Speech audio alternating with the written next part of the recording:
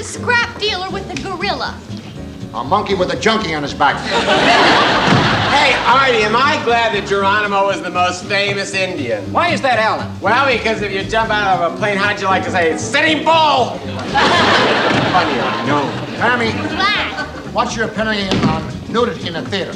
Well, personally, it leaves me cold.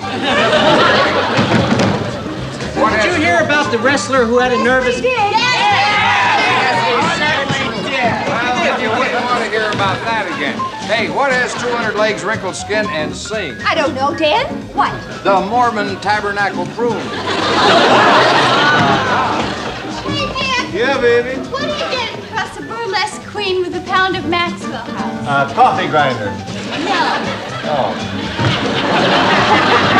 That's a long occasion, lady. Yeah, what's happening, Whitey? Did we say anything else to you?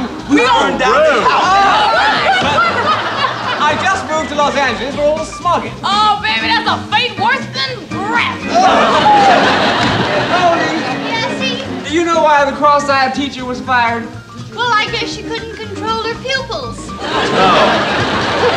yes. Do you realize that New Hampshire isn't new, and Rhode Island isn't an island, and therefore Virginia can't Hold possibly... it, hold it. Why don't you leave the little fellow alone? Will you oh, stop that's talking? About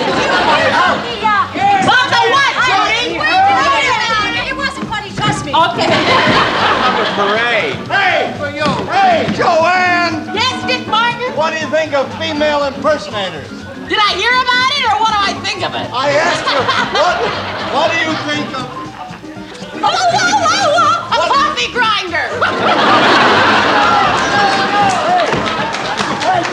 Yeah. Lindy made it. Oh, 73 hours. Jeremy. Yes, ah, yes. There you are. Right. The Birch Society calls sex education in schools a communist plot. They do. Yes, well, I guess they figure better dead than bed.